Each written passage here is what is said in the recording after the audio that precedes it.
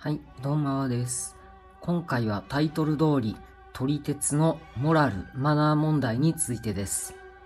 以前より撮り鉄のマナーについては問題視されていましたが、最近になってニュースなどでも頻繁に取り上げられるようになってきました。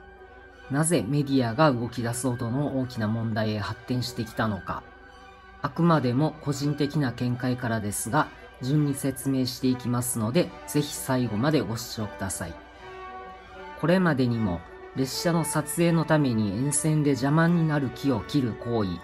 私有地へ無断へ立ち入る行為などはメディアにも取り上げられ、取材に応じた法律の専門家などからも、土地の所有者などから訴えられる可能性もあり得る犯罪行為であることが幾度となく報じられてきていました。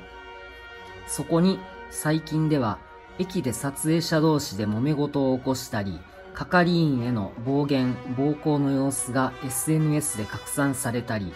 果てにはホーム先端などの列車と接触しかねない位置での撮影で列車に緊急停止をさせるなどの問題行動も増えています。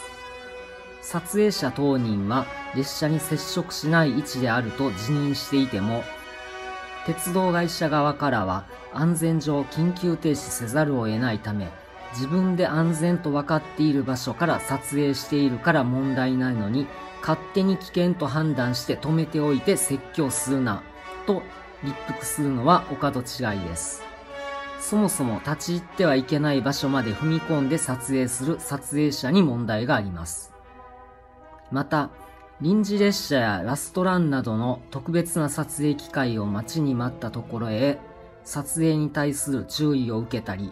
結果的に自身が望む撮影ができなかった怒りなどから、揉め事に発展するケースもありますが、これも禁止されている三脚や脚立の持ち込みや、先に述べた立ち入ってはいけない場所まで踏み込むなど、駅係員の指示を守らない自らの行動が招いた結果です。冷静に考えれば、誰でも撮影者側のモラルの欠如、マナー違反であることはわかると思います。それなのに問題は大きくなるばかり。中には、撮り鉄にはローカルルールがあると主張する撮影者もいます。そんなローカルルールは、鉄道会社が認めているルールですか？それとも、撮り鉄会は違い法権が認められているのですか？違いますよね。だからこそ問題が大きくなり注目を浴びるようになってきているわけです。最近は撮り鉄が出没しそうな日時、場所にマスコミなどのメディアも現れるようになっています。これはマスコミの狙いが撮り鉄が注目する列車だけだと思っていませんか？撮り鉄がトラブルを起こすことを期待して取材に来ている面もあることに気づいていませんか？明らかに撮り鉄が問題を起こしたニュースが増えていると思いませんか？最近の撮り鉄は世間一般から迷惑だと思われ嫌われる対象という認識をメディアが持ちそのトラブルを報じることでメディアは注目されます。撮り鉄のアンチが増えれば増えるほどメディアは撮り鉄の問題行動を取り上げるようになります。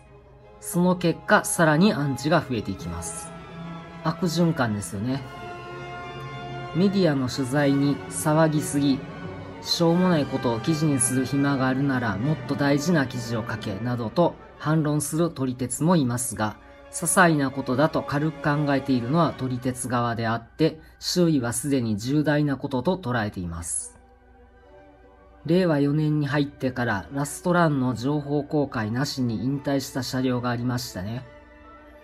サイレント引退などと呼ばれましたが、これも情報を公開すると撮り鉄が集まることを危惧して、あえて公表されなかったのかもしれません。このままでは今後も何の公表もなく引退する列車が出てくるかもしれません。少し前に撮り鉄のマナー違反を注意した勇気ある高校生という報道がありました。当たり前のことを注意しただけで記事になってしまうほど撮り鉄を取り巻く状況、世間の目は厳しくなっているのです。モラルの欠如した撮り鉄はごく一部のこと。多くの撮り鉄はマナーを守っている。私もそう思っていましたが、それはあくまでも撮り鉄目線での考えであって、世間はもうそんな甘くは見ていないと最近は実感しています。駅でマナーを守って撮影していても、周囲から警戒されていると感じることも増えてきています。メディアに取り上げられるような状況が続けば、イベント列車の運行をはじめとした鉄道イベントが今後縮小、あるいは廃止となる可能性もあります。すでに始まっているように、駅両端部に入れない、あるいは監視カメラの設置といった処置が行われる駅も増えるでしょう。これ以上メディアに取り上げられ、世間から迷惑がられ、騒がれないようにモラルのあるマナーを守り、係員の指示に従う撮り鉄が増え、醜悪な行為を晒す撮り鉄がいなくなればよいと願ってます。私は現在の撮り鉄のありさまを見て、世間一般から同一視されることに嫌気を感じ、当面の間は撮影目的で駅や沿線に出向くことを控えることにしました。鉄道を利用しての移動の際にちょっと撮影したりはするでしょうが、撮影を主とした行動は控えます。願わくば撮り鉄界隈に事情作用がありますように。